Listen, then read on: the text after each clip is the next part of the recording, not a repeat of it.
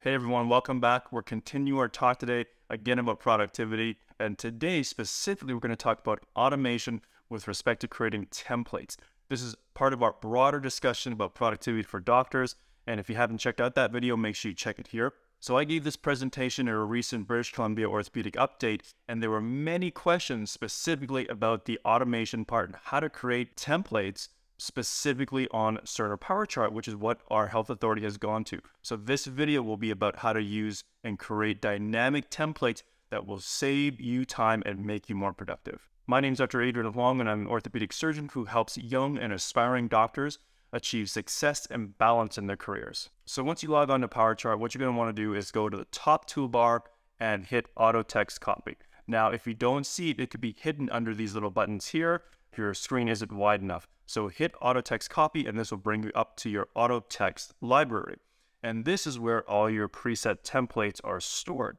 If you want to create a new one or edit an existing one, hit this manage auto text icon and this frame will pop up. And here's where you can edit existing ones. But today, what we want to do is create a new one. And so you hit the small blue plus sign and it brings you up to this new pane where you can create your new template. So the first thing you want to do is put in your abbreviation, and this is how you call up the template. So it starts with dot dot and something simple like consult note or just consult. And the description will be your full description, which is new consult note. And then you simply start creating your template. If you have access to a dictation software like Dragon or M-Modal, I highly suggest you use that to help dictate into here because again, that will just add to the efficiency of creating a template. As we create our template, you're going to see there's many tools we can utilize to help us along. For example, we can use tokens, drop-down lists, and jump tos. So the first thing we'll talk about is using tokens and drop-down lists to add into this to make it a little more dynamic and a little more personalized. So as we create the template, I'm going to address it to the referring doctor.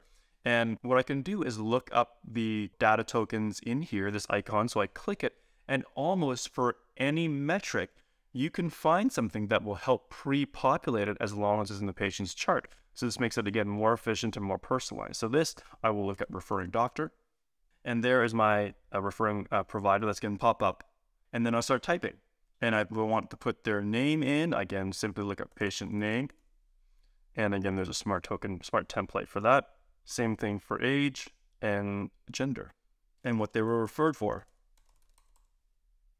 So you can see very simply, I've made a very personalized and dynamic opening sentence using only smart token. I'm going to continue creating this template. And the beautiful thing is you can make these templates almost however you want to and design them for your personal needs.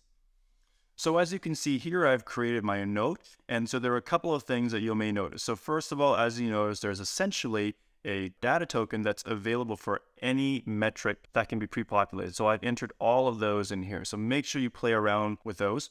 The other thing is you can notice under clinical note, I have this underscore, and this is the idea of that jump to. Underscores are great for this because what they allow you to do is to jump to that specific location by just hitting F3. And this is great for your workflow where if you need to enter free text, you can continue dictating on your microphone and without skipping a beat, you just hit F3 and it brings you right where you need to dictate next. In addition to the underscores, you can also mimic this by using square brackets. So if you have a microphone that's compatible, such as one of those M-Modal or Dragon microphones that has a next button, if you enter a square bracket like that, it achieves the same function by pressing the next button. I find that in my clinic, because I have a lot of trainees, they come through and unfortunately don't have access to our dictation system, so it's much easier and user friendly for them had to have access to the F3 button.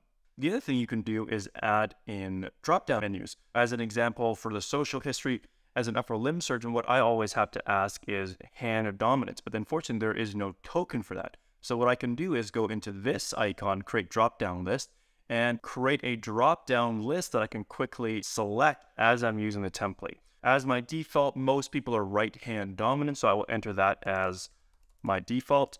You can see here I can add other options, including left hand dominant or even being ambidextrous make sure you choose whatever you want as the default using these buttons here. And you can save that and you can see that that will now be created in here. So once I've done this, I'm going to save this and you can see under consult test, this is where it's going to be. Once I X out of there, the beautiful thing about this is if I want to share this with my colleagues or my trainees, they can now look this up. All they have to do is under their auto text library, they can look at my name and my name will come up here and they can select which ones to copy. And that way I know that whoever's coming to my clinic, if even if even if it's their first time here, their note will be standardized to the way that I want it. So if we now go and try that out, all you have to do is type dot dot C and scroll down to consult test, which is the one we brought up, and you can see everything is pre-populated. Unfortunately, this test patient doesn't have a referring provider, but it does have most of the other things in here.